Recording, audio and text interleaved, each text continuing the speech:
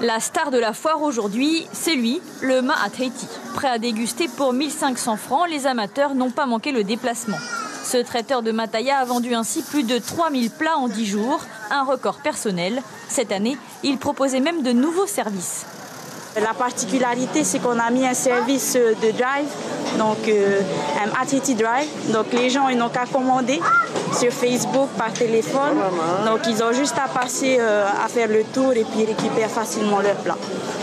Ça aussi, ça a permis de booster euh, les ventes.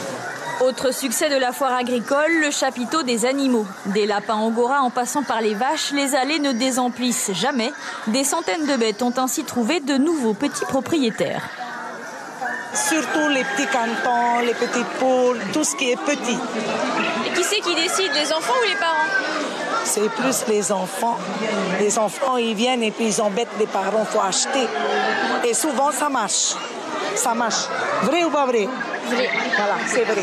Et puis, il y a le miel, un stand plus discret mais très recherché. La saison se termine et les productions s'arrêtent. C'était donc le moment ou jamais de stocker le précieux nectar. Le premier prix de la foire a ainsi vendu les trois quarts de sa récolte. C'est la première fois que je participe à cette foire agricole. Euh, et aussi, ben, ça, me permet de rencontrer des, euh, de, nouveaux clients. Et voilà. Oh, cela fait 11 ans que je suis dans le métier. Et, pour une première fois de la foire agricole, ben, c'est un, c'est un succès. Plus de 30 000 visiteurs se sont ainsi pressés dans les allées cette année, un record d'affluence.